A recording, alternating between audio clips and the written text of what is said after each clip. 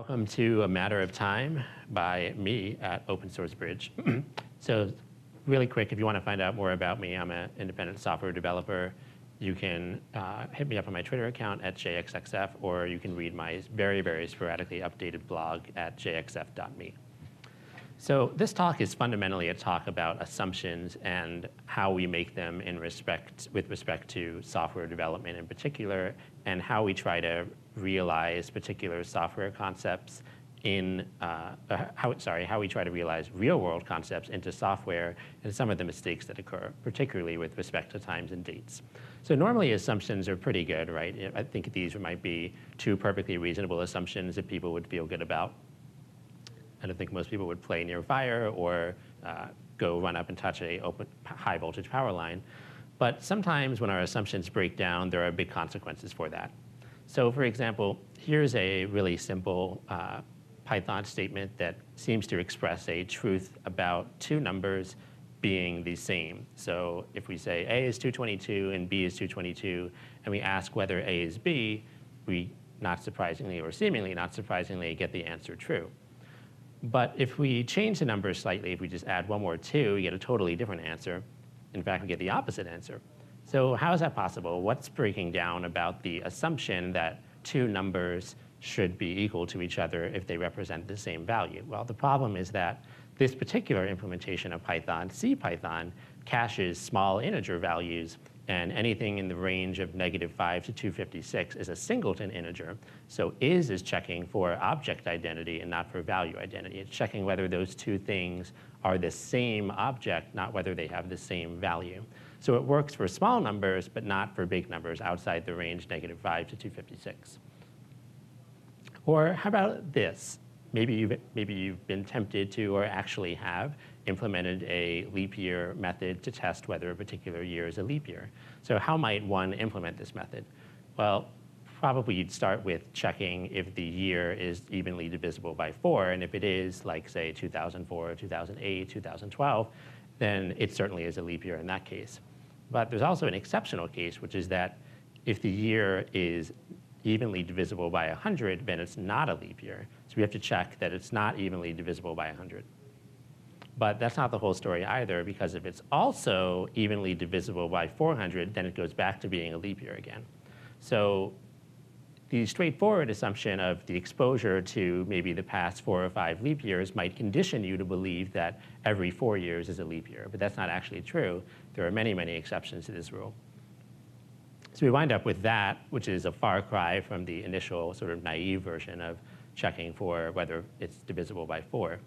And sometimes the assumptions we make um, wind up in software, but they encode not necessarily a mathematical or universal truth, but rather a sociocultural assumption or something about the way people interact with each other. So here's a uh, query from a schema I worked on uh, in the Massachusetts Civil Service Department and in 2003, the Massachusetts uh, Supreme Court decided a case called Goodridge versus Department of Public Health. And this is the case that was the uh, instantiator for legalizing same-sex marriage in the United States. But the problem was that all the databases look like this. And updating a whole bunch of databases about uh, marriage licenses is really problematic if you, uh, if you have that. Other than, you know, other than assuming certain properties about the people getting married, there's a lot of other assumptions going on here. What happens if people get divorced in this table, for example? What happens if, uh, how would you enforce that no two people can be married to each other at the same time? It's tough to do that here. so this talk is, although it's about time, it's also about people and the assumptions that people make and how those assumptions have consequences when represented in software. So time is hard. I'm not going to lie to you, and I think that it's hard for one very specific reason, and that's because we made it that way.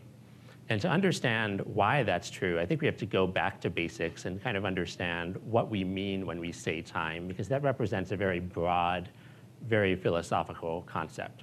And in fact, people, including philosophers, have been arguing about what time actually means for a very substantial period of time, so to speak two different schools of thought are the sort of Newtonian school of thought and the Kantian school of thought. Newtonians think that time is sort of this empirical, uh, uh, concept that exists regardless of whether people exist. So it's not something that's a mental construct, it's something that's a physical property of the universe we live in, and if there were no people around to observe it, it would still be happening.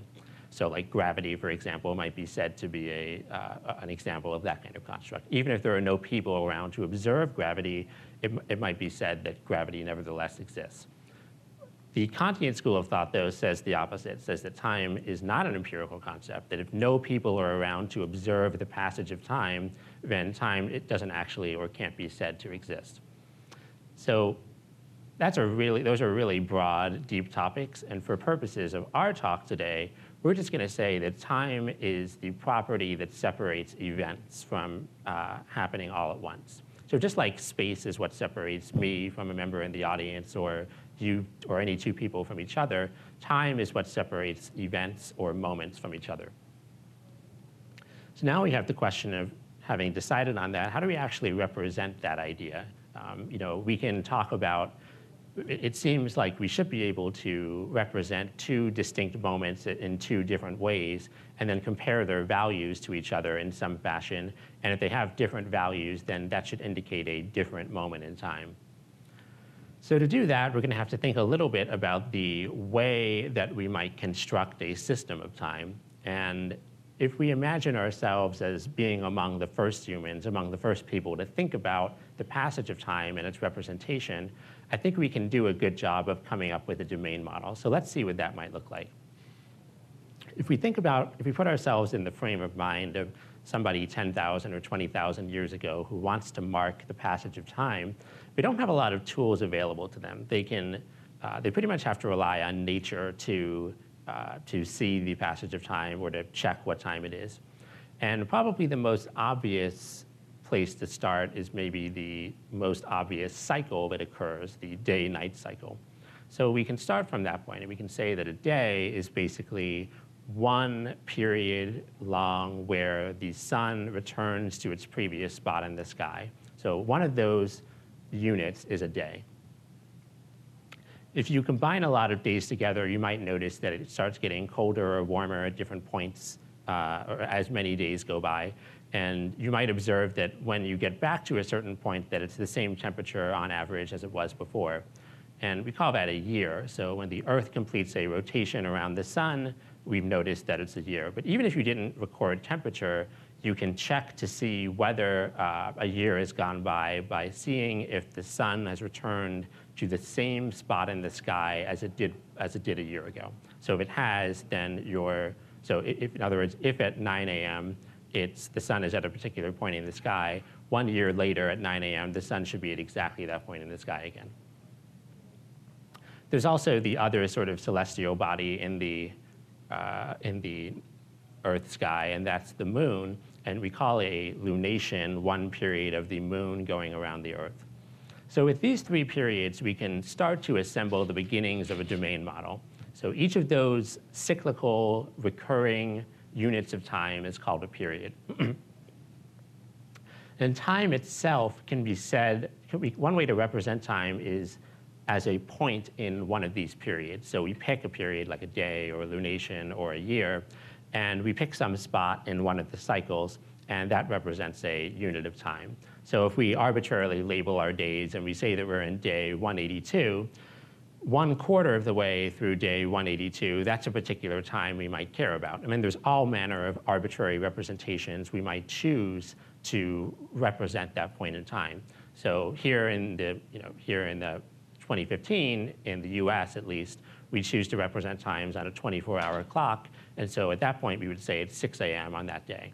But somebody in the Sumerian civilization might say that that was the fifth night hour because they had 10 nighttime hours and 10 daytime hours with five nighttime hours at the beginning of each day, five at the end, and then 10 in the middle. So you can see that that kind of time system creates a few problems, right? Because your daylight hours will actually increase in length over time as the seasons change, as will your night hours. So time is a point in one of those periods that you care to, that you care to represent. A calendar is one level up from time. A calendar is a way of mapping one of the cycles uh, a way of numbering one of the cycles and mapping that to some string that you care about that's easier to remember. So instead of saying day 4,862, uh, you would have some more convenient notation for representing that. So in this case, we'll choose the day cycles because they happen most frequently, so that'll give us the most accurate representation of time. So the Gregorian calendar chooses dates based on a specific reference day that occurred in 4700-ish BC, and every day is numbered starting from that day. And that's how you wind up with November 10th or January 1st in a particular year, because we're counting the number of days that have occurred since that reference date, and that's how we, uh, and, and we're mapping the cycles in different ways. So we're mapping the year cycle to 12 months. But that's a totally arbitrary choice. We could have decided that there are 15 or 500 or 263 months in a year. There's nothing magical about the arrangement of words and position of, that, uh, of the elements in that string in the date. The date is just a arbitrary, arbitrarily constructed mapping from days to a string. So we can imagine, for example, a different universe, say in Game of Thrones, where we have totally different cycles that are of totally different lengths that have totally different meanings in that universe. And even if we're on the same planet and we experience exactly the same uh, periods of time, it's a human construct, not a physical one, to decide to name day number 16 in a certain way. So a calendar is a mapping of those dates, of the, rather of those days to dates. So now we almost have enough to say what time it is. Um, if I could ask everyone to breach conference etiquette for a second and maybe just pull out your phones and on the count of three, I'll ask you to yell out what time you think it is. So just take a second to look at your watch or your phone and just yell out what time it is on one, two, three. Okay, so I noticed most people said a hour and a minute. Did anyone not say an hour and a minute? Did someone say like PM, for example? You said PM? Okay, so one person said PM. Um, so we can, we can say that, we, we can start with this. We can say, okay, we've got some hour and a minute representation of what time it is. Um, and we could get more specific than that, right? We could say the milliseconds or microseconds or uh, nanoseconds if we wanted to, and we would be more specifically identifying a moment of time. But the problem is that we haven't identified a point in time when we do that time is actually a continuum, right? We saw in our day length before that you, if you go from one part of a day to another part of a day, that's a continuous interval. So when we talk about a specific moment in time, like 6.30, we're not identifying a point, we're actually identifying an interval. So the, where the statement, it's 6.30, is true on this line is not a point, but an interval, right? Because this entire space represents 6.30. It's not one point. certainly the point where it starts to be 6.30 is a point, and the point where it stops being 6.30 is also a point. But the statement, it's 6.30, identifies a set of points, an interval, not a specific point. And maybe even more problematically, it doesn't identify, um, it, it doesn't help us to be more specific about the nature of what we're talking about. So if we add seconds to this representation, all we did was narrow the interval that we're talking about. We didn't actually shrink it to a point. We just made it smaller. So this results, or this leads us to the conclusion that moments are actually ambiguous. When we give a time, we're not talking about a specific point, we're talking about an interval.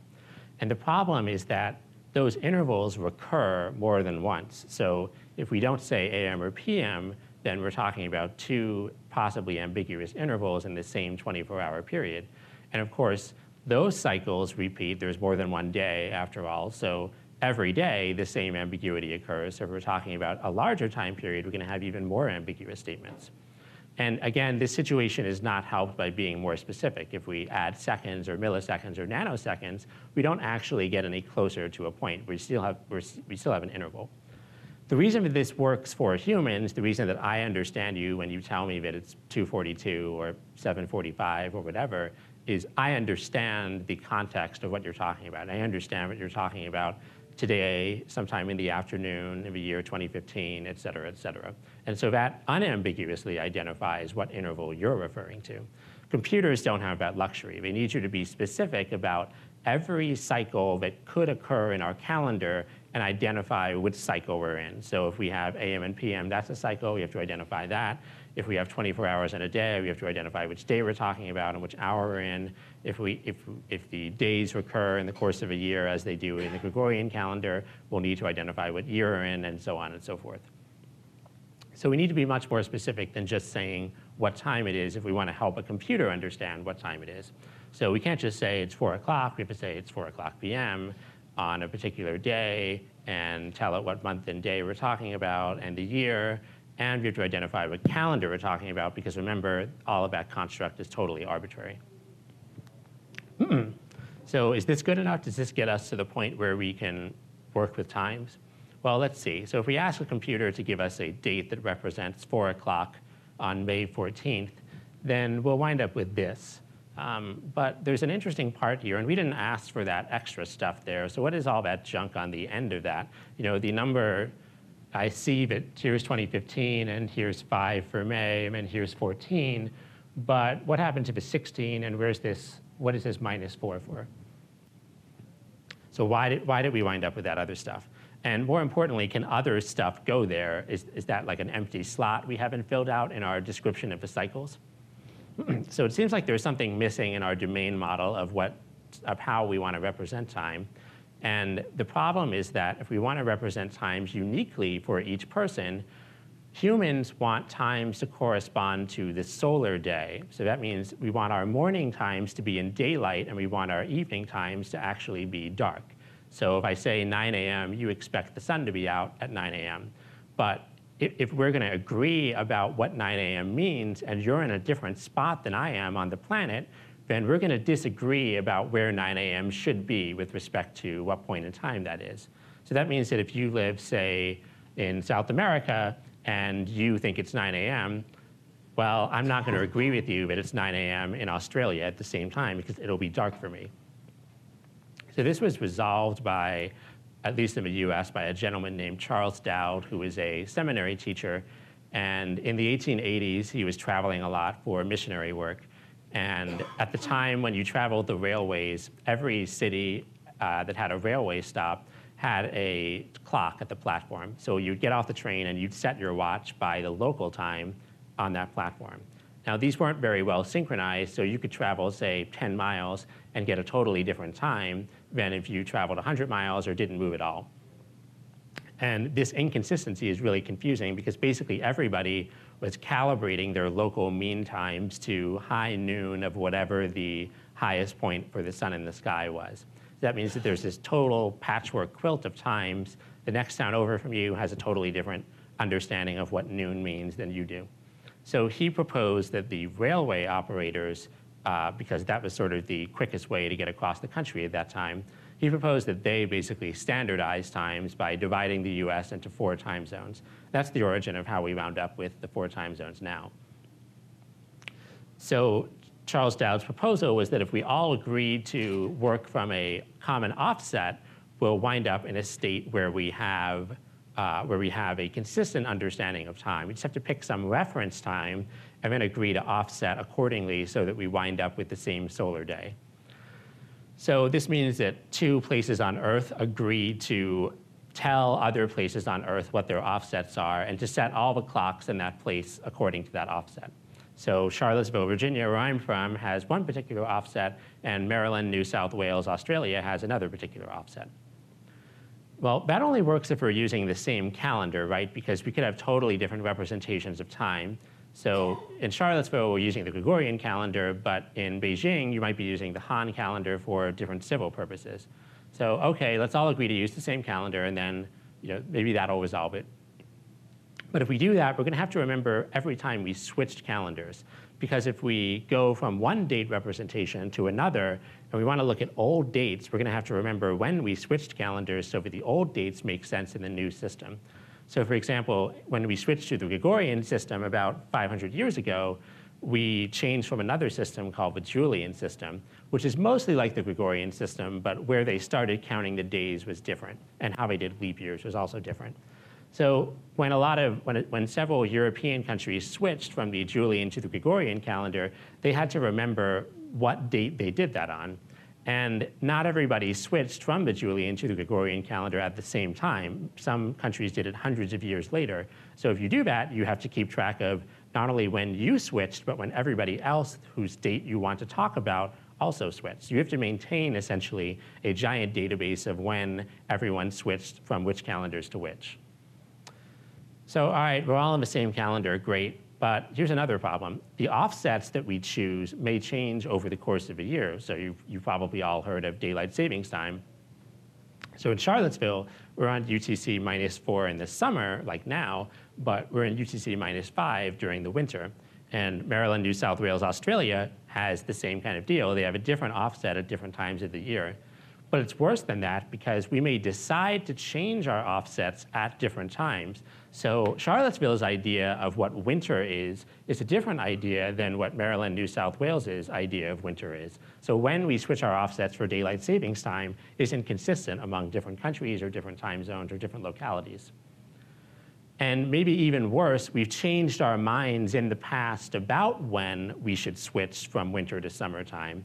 So in Charlottesville, we did, we observed these time rules from 1917, uh, every year except 1917, 1942 to 1944 for World War II. And Maryland, New South Wales has a totally different set of intervals in which they did or didn't observe daylight savings time. Huh. And to complicate this matter even further, some of the times that we might want to talk about aren't real times. They don't exist because of the fact that we switched offsets.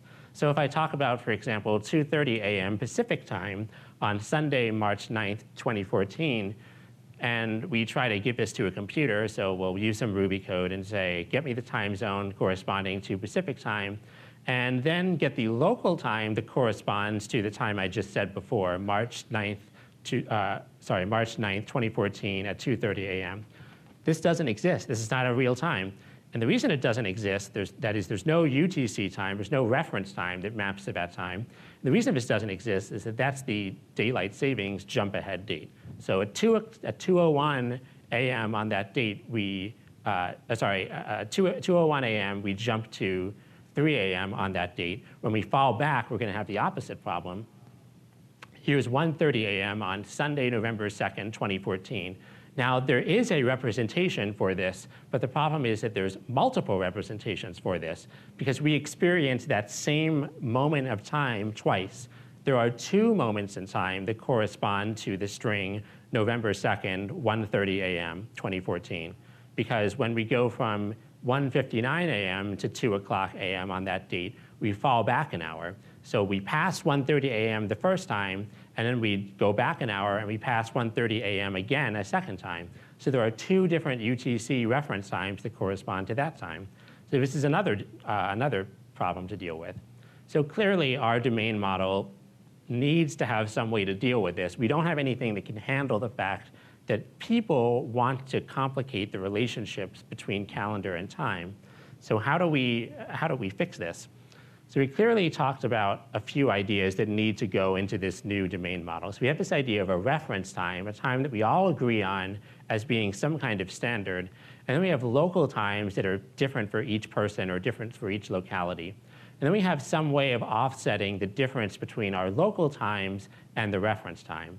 And that's basically what a time zone is. A time zone is a mapping of all the reference times you would care about to the offsets at that point in time.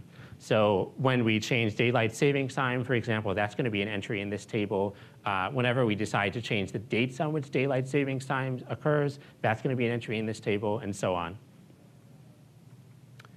So, uh, so Pacific time specifically looks like this, for example. Um, what, during one of the many, many entries of this table, we would see the entry for 2013's uh, spring ahead date. This is when we go from UTC 8 or minus 8 to UTC minus 7. We went ahead one hour. And likewise, the fallback date for this year is we're going to go from UTC minus 7 to UTC minus 8 in November. So this gives us a framework to deal with each particular time zone. But this is complicated because we've got to remember this for every possible time zone. And fortunately, there's a standards body called IANA, the Internet Assigned Numbers Authority, that maintains a specific database of this stuff called the time zone database, which you may have seen referred to as TZDB or TZData uh, as referenced by different libraries on Unix-based systems and Windows-based systems. So the solution to the problem is to identify one time zone for every distinct list of historical offsets we want to remember. So every set of offsets that we want, that's a time zone. So here's what the time zone data looks like for um, Pacific time. So you can see there's a couple of parts here. First is this block called rules, and then there's this block called zone. And the rules block describes recurring events that are, uh, that are always present each year. So this is where you include things like daylight savings time and so on. The zone block describes how you're going to name that, that set of rules and when you switched offsets at different time. So the rules block up here tells us that, for example, from 1962 to 1966, in October, on the last Sunday of October at 2 a.m., you're going to go from a one hour offset to a zero hour offset from this base, uh, this base offset down here.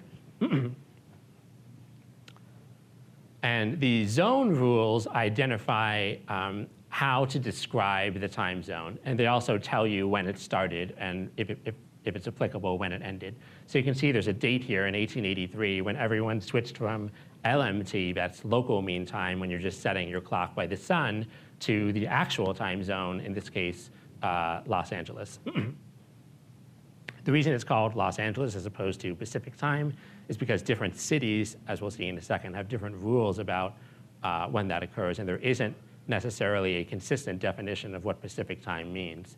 So for example, in Indiana, they're quite finicky about which cities observe which parts of daylight savings time. So if I ask the TZ data database for all the Indiana-based time zones, turns out there are quite a lot. And the reason that we can't just say Central Time or Eastern Time is because each of these cities has at some point in the, in the past or possibly in the future decided that it's going to observe a different set of daylight savings rules at different times or have different offsets. So you can go from one corner of Indiana to the other and pass through as much as 12 different time zones. so this is really problematic, right? We have, to keep, we have to keep storing this data every time somebody makes a political change or, uh, or, or does anything to change the offset of the time. So fortunately, you don't have to really do any of this yourself these days. Uh, there's a lot of interfaces to TZ data and TZDB that makes things simple. Um, all of these are open source tools that will help you deal with that. So if you're using Java, Joda time is really good. If you're using uh, Ruby, we have some support and active support, but not a lot. Python has some support in PyTZ and Arrow, but not a lot. .NET has NodaTime, which is a port of JodaTime by a guy named Jon Skeet. And then JS has Moment.js to sort of uh, patch over some of the big problems that JavaScript has with dealing with times.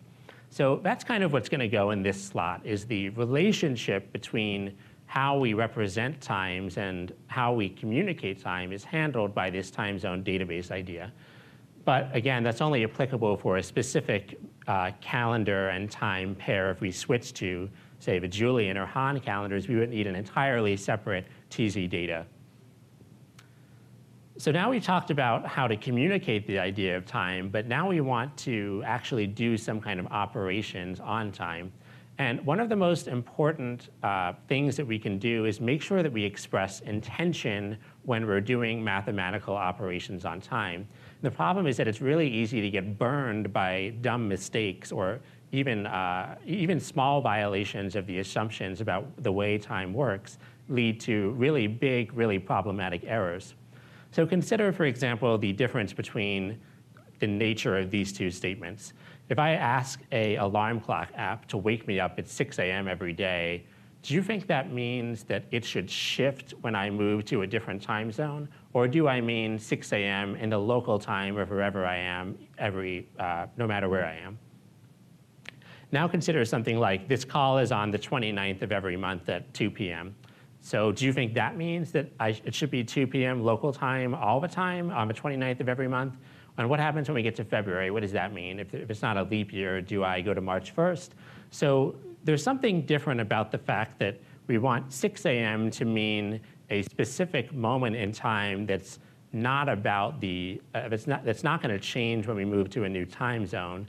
And there's something different than that when we talk about, I want to make sure my idea of time is synchronized with everyone else's idea so that I am not going to miss the call, but everyone else thinks is also at 2 p.m.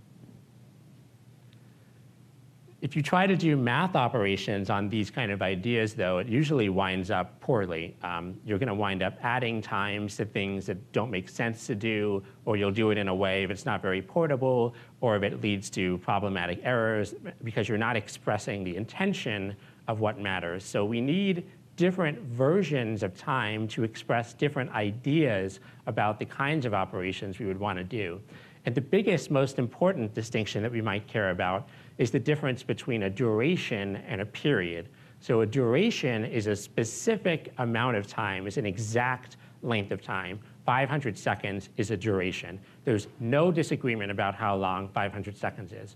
But one day is a period. A period is, uh, is based on cycles of our calendar. It's not based on a objective measurement of time, it doesn't change. So if I say one day, that's not the same length of time depending on what day I'm talking about. A day in which I jump ahead for daylight savings is more seconds long than, than any other day.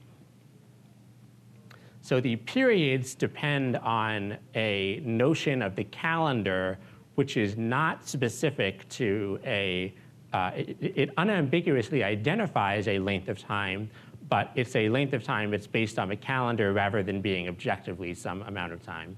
So to see what we mean by that, let's take a look using the uh, Java 8 API for, uh, for what it will look like if we do some simple date math operations. So first we'll say, let's get an instance of a calendar, and we'll say, uh, don't allow us to be lenient with the calendar, be really strict.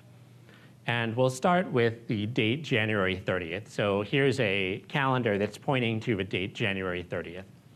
And now let's say we want to get the date that's two months in advance from this date. There's a couple of, there's a couple of ways to do that. One is we can keep incrementing by one until we get to the point that's two months out. The other is to just increment by two directly. So if we increment by one twice, we'll get this date, March 28th. That doesn't seem like it's two months after January 30th, because what happened was we went one month forward, and the last day of February is February 28th. Then we did it again, and one month after that is March 28th. But we really wanted March 30th, right? So if we add two months, we'll get March 30th. But this seems weird. Why, do we, why should we have to know that that's true? Why should we have to know that property about our calendars? And this reveals a breakdown in kind of how we want this to work, which is that this is not associative. We want associative operations. We want to be able to do that in any order and still wind up with the right answer. So to maybe further illustrate the problem, here's three different dates corresponding to November 1st, November 2nd, and November 3rd of 2014. And on November 2nd, we're going to have a daylight savings time transition from uh, uh, going forward one hour, or sorry, going back one hour. If we want to know the difference between C and B, that is November 3rd at that time and November 2nd versus the difference between B and A, that is November 2nd to November 1st, we can ask the duration of those two periods. So we can say, what's the difference in seconds? That's an objective duration. It doesn't matter what calendar you're using. We can ask for that difference, and we'll get one answer for this period, and we'll get a different answer for this period. Because even though these are one day apart each, they're a different objective amount of time apart. You'll be waiting longer as the clock turns to go from one of these days to another. So you can see that the uh, difference between November 1st and November 2nd is an extra 3,600 seconds or one hour from the difference between November 2nd and November 3rd. But if we do the same operation with periods, we won't wind up with, the, with this issue. The number of days in between these two dates is identical. These are both one day apart, and these are both one day apart. But that's based on days. It's not based on, um, it's not based on any other cycle. So I could have a period that was, say, days, and I could say, get me the, uh, get me a time that's uh, 12.01, one minute past midnight for November 3rd, and then 11:59 p.m., one minute right before midnight, those would be two minutes apart, but they would be one day apart. So that's kind of a counterintuitive idea, right? That something could be as close as uh, a couple of seconds to another time and yet be a totally different day, and that's because the period's changed. So even though this is, uh, even though these are, even though the start of these periods is uh, 90 or 90,000 seconds apart, the number of days is only based on the cycles that we're talking about in our calendar. so we need to add one more idea to our domain model here. We need to add this idea of duration.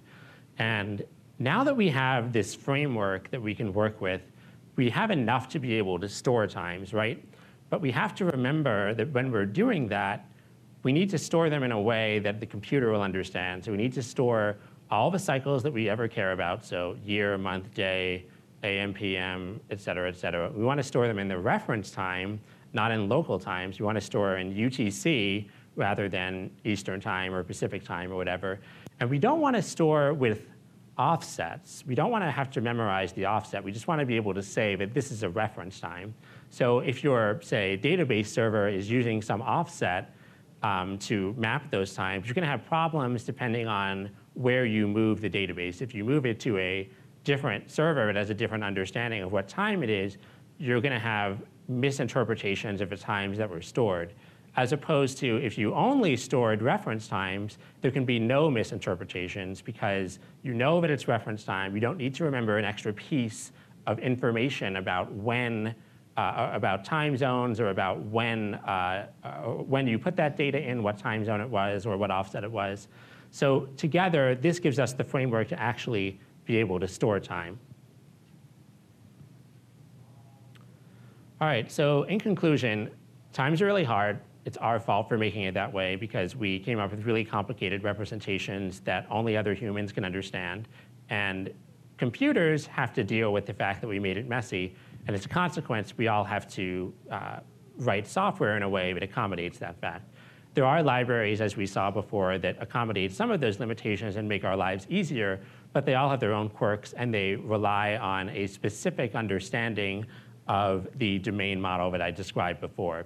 Even worse, some of them may have different ideas of what words like duration and period mean. So for example, some, uh, some libraries consider duration to mean what I described as period, and some libraries consider period to mean what I described as duration.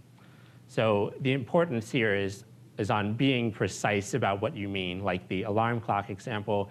Do you mean 6 a.m. at a specific moment in time, or do you mean 6 a.m. that's going to change no matter where you are so that it's always 6 a.m.? So those are very different ideas that require very different ways of storing data. And unless we're precise about what we mean and how we want to store that, we're going to wind up with problems. So thanks very much. Uh, I'll give a shout out to the Open, Open Source Bridge organizers and volunteers, uh, to Gary Bernhardt for reviewing this talk for me, and to you guys for coming out. Thanks very much.